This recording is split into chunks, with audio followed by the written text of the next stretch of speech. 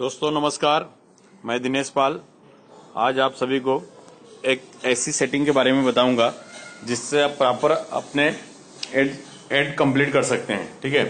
अगर आपको बराबर एड्स नहीं आ रहे हैं, कब पूरा कंप्लीट नहीं कर पा रहे हैं तो आपको क्या करना है, अपने मोबाइल के सेटिंग में आपको जाना है। देखिए, मैं सेटिंग में जा रहा हूँ, ठीक है?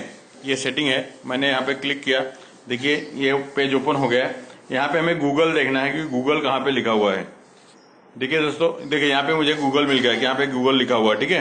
यहाँ गूगल के ऊपर मुझे क्लिक करना है। यहाँ मैंने गूगल के ऊपर क्लिक कर दिया, अभी दूसरा पेज ओपन हो रहा है। देखिए यहाँ पे दूसरा पेज ओपन हो गया है, यहाँ पे एड्स लिखा हुआ है, ठीक है? देखिए यहाँ पे एड्स लिखा हुआ है। अभी एड्स के ऊपर मुझे क्लिक कर देना है। यहाँ पे हमने क्लिक कर दिया। तो यहाँ पे रिसेट एडवर्टाइजिंग आईडी ओपन होके आ गया। देखिए यहाँ पे ये रिसेट एडवर्टाइजिंग आईडी यहाँ पे लिखा हुआ है। यहाँ पे हमें इसके ऊपर क्लिक करना है। अभी मैंने इसके ऊपर क्लिक कर दिया तो यहाँ पे ऑप्शन आ गया है ओके का। हमें यहाँ पे ओके कर देना है, ठीक है? तो जैसे हम यहाँ पे ओके कर देते हैं, हमारी आईडी, जो पुरानी आईडी रहती है, वो चेंज हो जाती है, ठीक है?